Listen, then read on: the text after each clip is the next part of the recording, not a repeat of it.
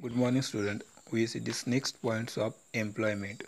It is an economic activities in which people work for others. There is employer employees relationship. Employer is the person who offers the work and the person who accepts the work is called employee.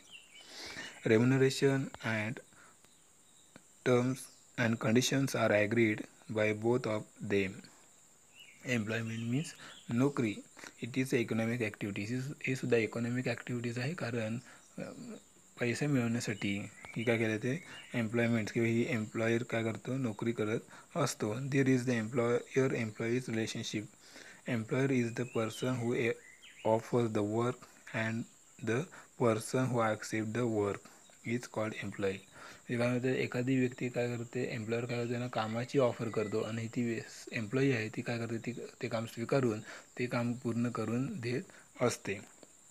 So this features of employment number one aim the main aim is to earn money for meeting need of the employees and employers त्यांचं उद्दिष्ट काय आहे?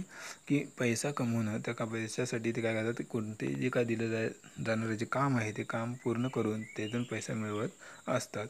Second of this qualification each job require some qualification the job can be skilled or unskilled for skill job some specific qualification are required for example job of nurse but no specific qualification for unskilled job is neces necessary for example office boy म्हणजे qualification काय आहे? की जसं काम असेल त्या कामाच्या स्वरूपनुसार स्वरूप जसं आहे त्यानुसार त्याचे क्वालिफिकेशन चेंज होत असतं. म्हणजे काही त्यामध्ये स्किल अँड अनस्किल वर्कर आहेत.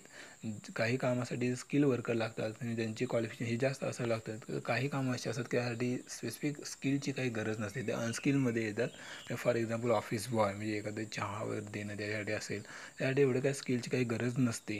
तर अशी जी काही कामं आहेत ते स्किल अँड अनस्किल वर्क म्हणून त्याच्यामध्ये त्यांच्या त्यानुसार त्यांचं क्वालिफिकेशन ठरत असतं next one number thirds of monetary return wages or salaries is given as a financial return to employee after complete of work wages are decided in advance before appointment wages are paid daily or weekly salary is paid monthly मॉटी return त्यांना. काय जो काही मोबदला मिळणार आहे तो मोबदला एक तर वेजेस अँड सॅलरी वेजेस म्हणजे मजुरी अँड सॅलरी मीन्स पगार.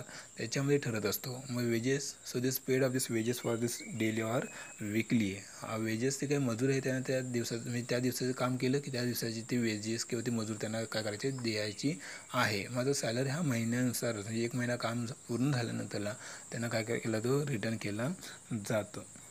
Next one of number fourth of capital no capital is required for employment because employer provides everything to the employee for completing the job या व्यवसायामध्ये म्हणजे एम्प्लॉयमेंटमध्ये कॅपिटलची किंवा भांडवलाची काही गरज लागत नाही next one of this registration no registration is required. Every employee has to follow that rules and regulations mentioned in the terms and conditions of employment con contract.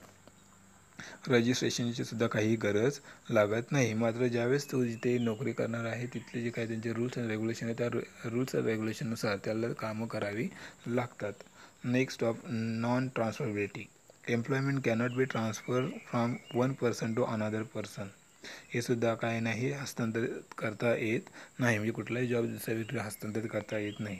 And last of this seven nature of work every employees is expected to complete the work which is given to him the nature of job decided the nature of work हे जे काय कामाचं स्वरूप आहे ते कामाचं स्वरूप. म्हणजे ज्यानुसार ते जे काम त्याच्यावर सोपवलं आहे ते काम त्याला काय करावं लागतं पूर्ण करावं लागतं. म्हणजे दिलेलं काम त्याने वेळेत पूर्ण करणं फार गरजेचं आहे. Thank you.